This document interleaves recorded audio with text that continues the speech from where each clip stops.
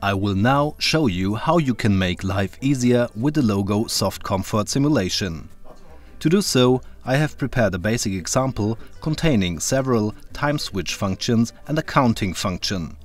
Using this, I will show you how you can manually influence the outputs of function blocks.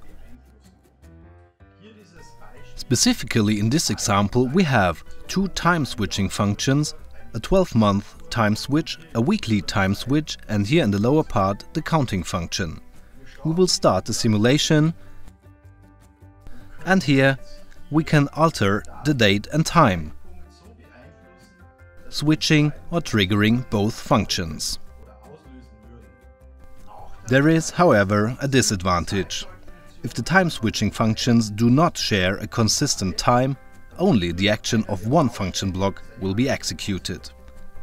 If it's necessary to track both signals, we move the cursor to the output of the function block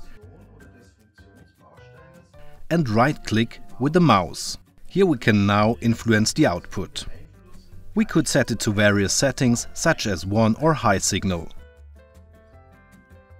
We can do so independently of this for other function blocks or manually influencing the signaling. This is also very handy for counter functions. I have prepared a counter function here. By double-clicking on this function block, we open the properties and see that the counter would assume the state of 1 for a count of 100 and at 90 it would reset the output. This would also mean, however, we would have to activate the counter input at least 100 times before the counter would even react. We're now going to try that. Here I've used the standard inputs. If I now press on this in the simulation, the first thing I discover is the counter input is a switch. And in order to further increase the count, I have to press the button twice each time. I can also change this, however, under the properties of the input.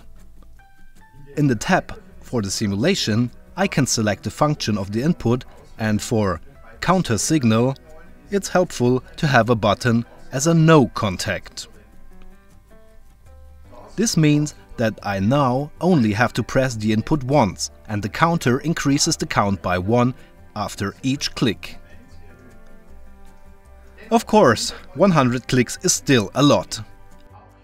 Here as well I have the option of manually setting the output of this function block. That allows me to safely check the signaling and the function.